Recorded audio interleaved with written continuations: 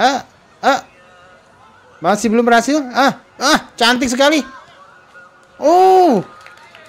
Gila, guys.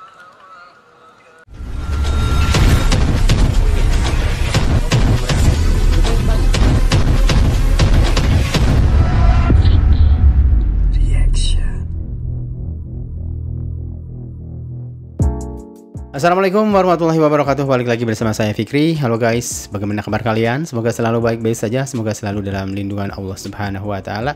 Dan semoga selalu dijauhi dari segala mara bahaya dan kesusahan Serta segala penyakit. Amin ya alamin.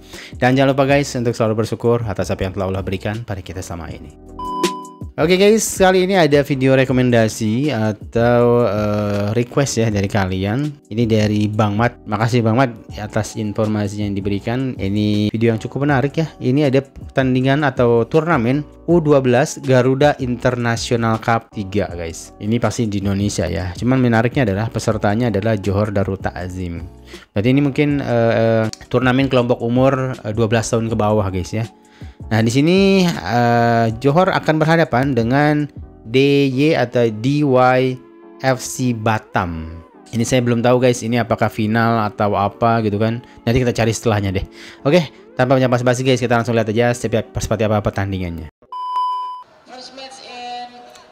Indonesia yang oh, Indonesia yang kuning ya. Oke, kita lihat Batam yang kuning uh, Oke, okay, oke okay, kita lihat guys. Ini U12 ya. Asik, mainnya udah cantik nih. Wih, tinggi-tinggi nih.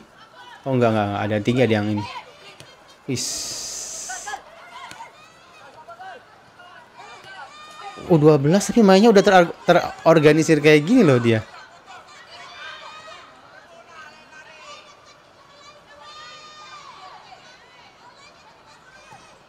Yo, bola ke belakangin gitu kan. Seperti ada instruksi dari pelatih gitu. Mereka bermain nah, mengikuti apa pola struktur ya. Jadi istilahnya ha ha ha ha. Oh, percobaan pertama gagal. Ini beda sih, udah terlatih ya. Mereka udah terlatih, guys. Aliran bola semua segala macam bagus, guys. Nah, ini kan bola-bola dari Batam dia lebih direct langsung ya. Long ball ke depan. Uh, seperti kebanyakan-kebanyakan inilah.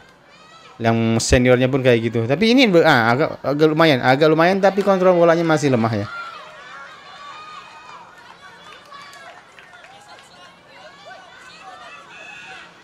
Itu kecil 12 tahun. Oh, di bawah mungkin itu umurnya uh, masih puluhan atau mungkin di bawah 10 itu yang kecilnya. Oke. Seimbang lah ya, tapi yang kuning lebih banyak yang kecilnya ya. Cantik bolanya. Oh. Oke, kita lihat guys. Tenang ya, tenang. Ketenangan loh. Ini bagus nih sebelah kanan. Sebelah kanan dari nomor berapa tadi itu?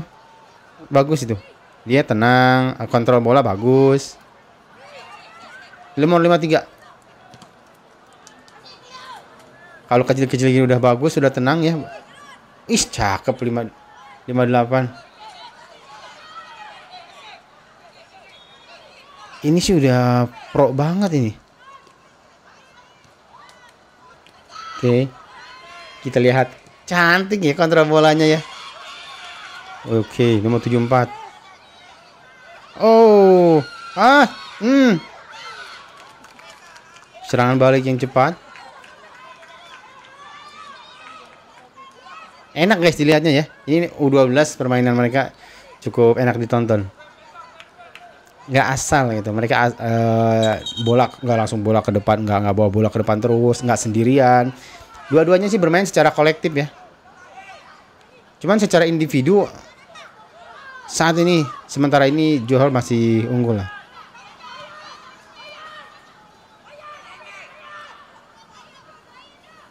Ada peluang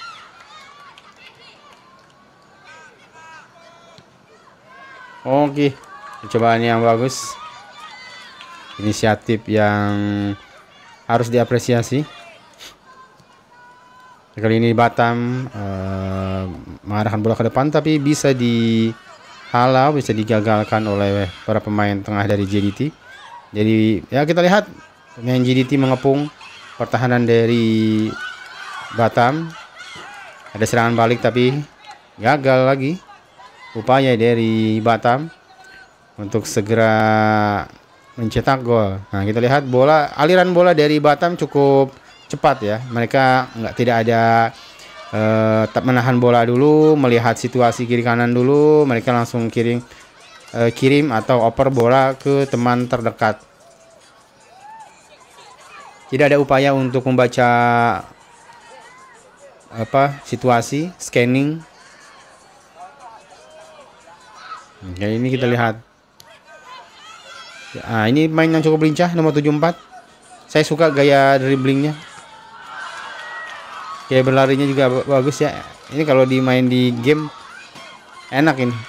Pakai pemain kayak gini. Pakai dribblingnya juga enak nih lihatnya lengket. Dioper saja ke nomor 64 terlihat dia berusaha untuk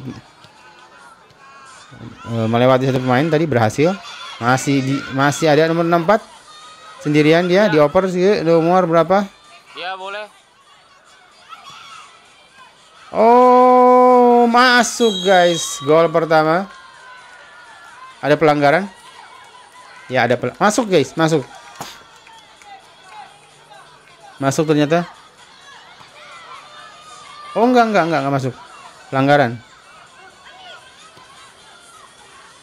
Oh, kali ini justru masuk. Kita lihat ya, setelah beberapa kali mereka e, melakukan tembakan dari luar kotak penalti akhirnya masuk juga sekarang. Ya. Oh berhasil direbut oleh nomor 72 ya ke tengah sendirian ini nomor 74 ah mudah sekali. Gol kedua skema serangan balik yang cukup ciamik ya bola direbut dari sektor sebelah kanan bagus sekali Gol kedua untuk Johor Darul Takzim.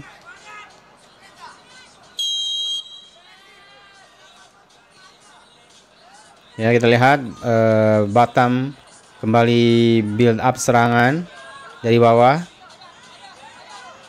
Ah, bola tidak bisa dicuri. Ah, kita lihat terjadi kepanikan sepertinya. Bola kembali direbut oleh pemain dari ah cantik sekali. Ah, cantik sekali guys permainan dari U12 Johor Darul Azim ini mungkin di uh, U17 juga kayaknya kalau U18 juga pema lawan pemain U12 Johor ini belum tentu bisa menang ini guys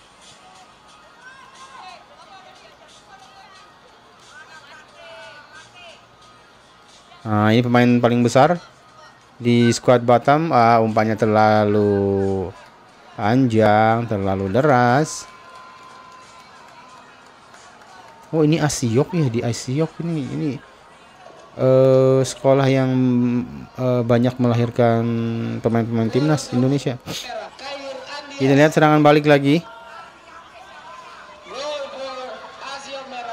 Ah, oh, masih bisa digagalkan oleh pemain dari Batam.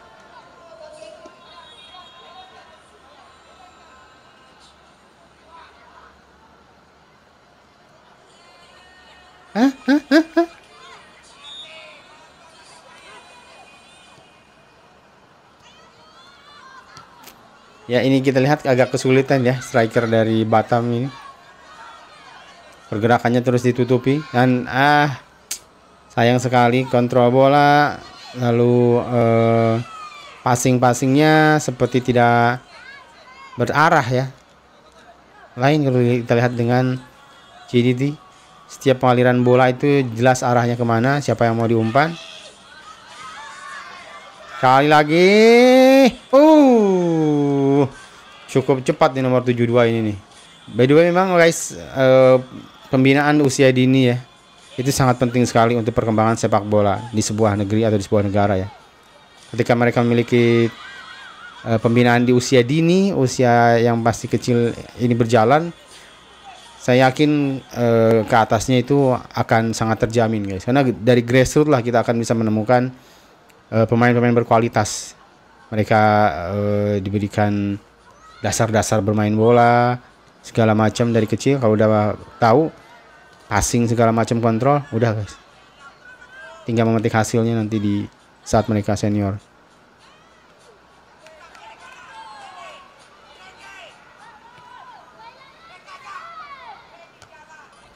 Nomor tempat. Ah, bunuh diri. Mudah sekali. Ini mungkin uh, kalau Batam ini bukan nggak nggak nggak profesional guys ya. Maksudnya dia seperti sekolah-sekolah sepak bola biasa lah di satu daerah.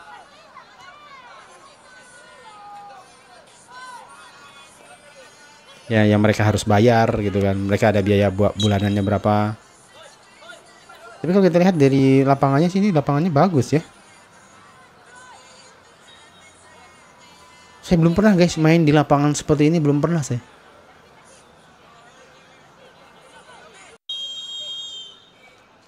Oke, okay, uh, babak pertama telah selesai dengan skor 3-0. Ya, kita lihat nomor 64 di sektor sebelah kanan melewati satu pemain, dua pemain. Ah. Ya, cantik sekali.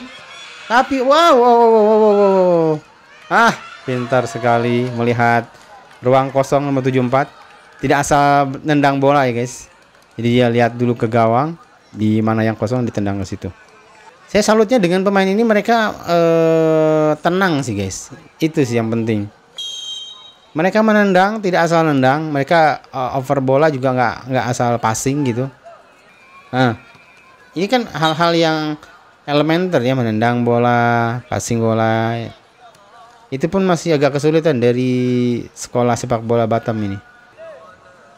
Terlihat dikepung uh, Batam oleh pemain. Oh, latihan gawang kita lihat. Ah, ah. Masih belum berhasil. Ah, ah, cantik sekali. Oh. Gila, guys. Cantik banget ya. Ini U12 loh ini. Wah gila ini udah pro banget ini. Saya ingin tahu guys juaranya siapa ini. Ini ini mudah-mudahan sini belum belum belum final ya karena lawannya agak timpang banget guys 5-0.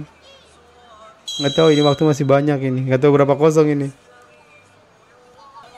Ih, cantik banget. Ah. Gila, guys. Main depan sampai main belakang masukin bola ini, ngegolin ini. Kita lihat serangan lagi. Oh, terlalu atas. Ah, kenapa tuh? Keram itu keram.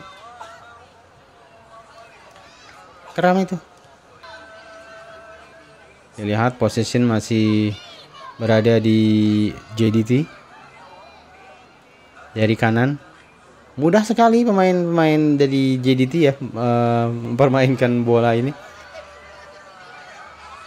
Melewati satu pemain, dua pemain. Mereka sangat mudah sekali.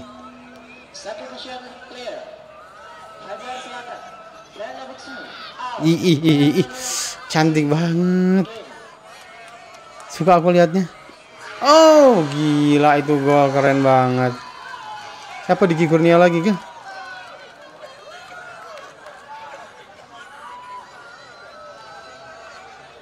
siapa itu? Yang tadi lagi kan maksudin keren keren. Ah. Ah mudah banget. Gila guys. 8 kosong guys.